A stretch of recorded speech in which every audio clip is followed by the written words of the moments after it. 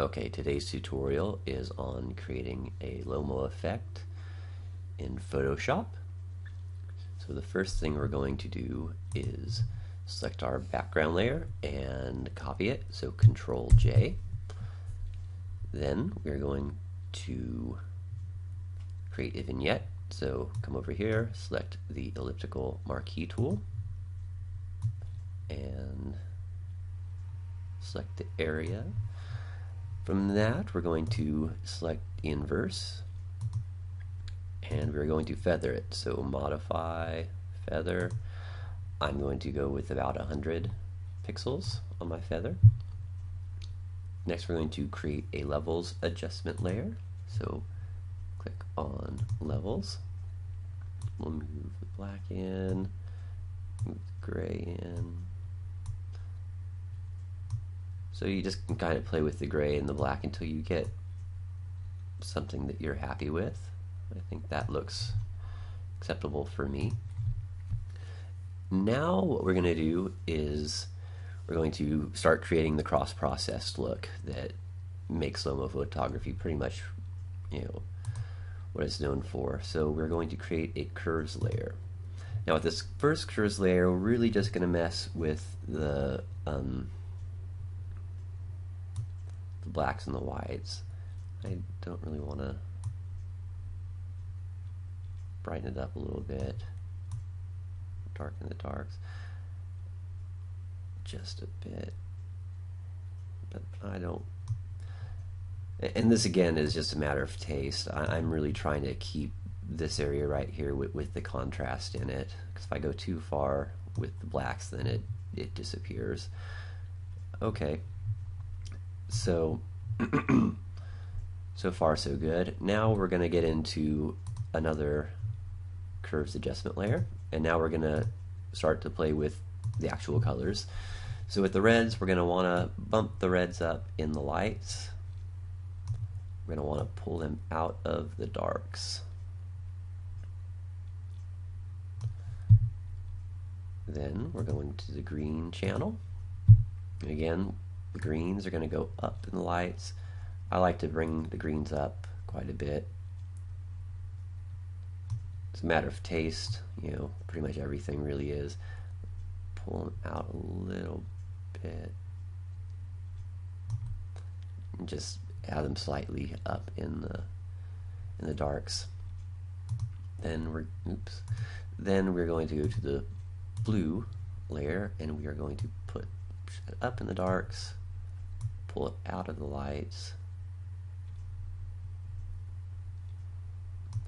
All right. So there we go. That's starting to, to get the cross-process look that we're looking for. uh, the next thing we're going to do is we're going to create a new layer. So come over here, create a new layer, and we are going to fill that using the paint bucket tool with black. Then we are going to switch the blending mode of that layer to hue. And we're going to move the opacity down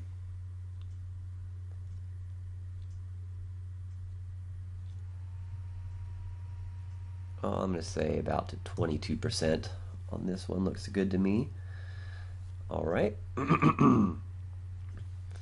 now we can play with uh, hue and saturation. So I would create another adjustment layer, hue and saturation.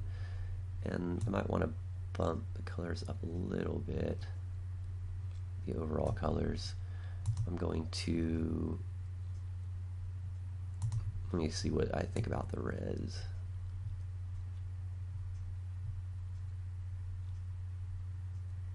Okay, I like that. Yellows, I think I'm going to boost the yellows a little bit. Not too much. So that's good there. Okay, so now we are going to add a blur because the old Lomo cameras were they're toy cameras. I mean, even the modern ones are, you know, they're they're toys. So the the focus isn't super sharp. So what we're going to do to help mimic the, the bad focus on those is we are going to make another copy of layer 1. We are going to go to Filter, Blur, Lens Blur. Now with Lens Blur, you can adjust how much you want it blurred. So I'm it down here, right around Mm, that's maybe a little bit too much for my taste. Maybe we'll go down to about about six on this one. Again, what you, you your preferences are more important than following some set formula. Okay, so now we have the blur, blur ah the blur layer, and we are going to add a layer mask to it. We're going to switch to our brush tool. We're going to switch the opacity to around 50%. We're going to paint with black on this white um, mask here. And what that's going to do is it's going to pull the blur out just of the areas that you don't want it in, you know. So we want a little bit of the picture to be in pretty decent focus. I'm also going to mention that I have the hardness I have a very soft brush and I have the hardness down to zero. And I'd say that's pretty good for the, the focus area on this one. Maybe I'll add a little bit more into about here. And that should do for that. I'm now going to sharpen the image a little bit. So again, I'm going to Control J to create a copy of layer 1 and on this one I'm going to go to filter other high pass.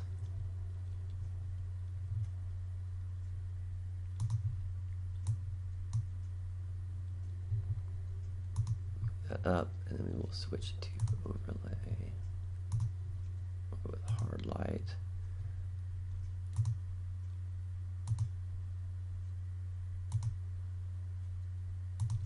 Okay, so having a hard light, I'm going to reduce the opacity on it so it's not over sharpening every single thing in the in the picture.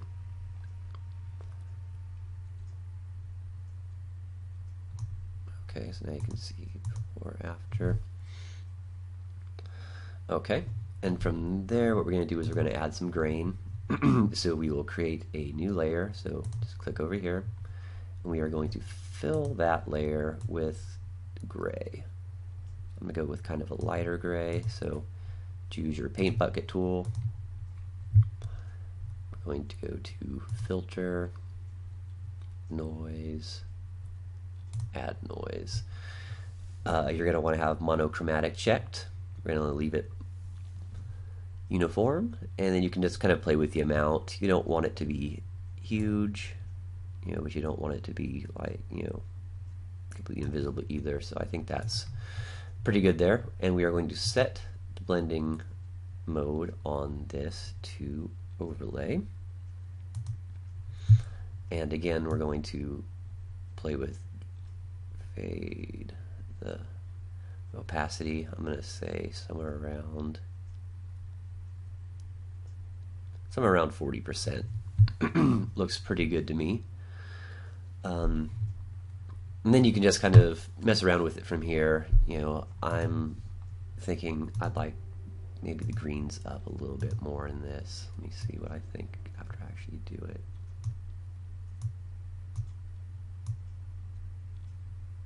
Yeah, it's not really making that much of a difference.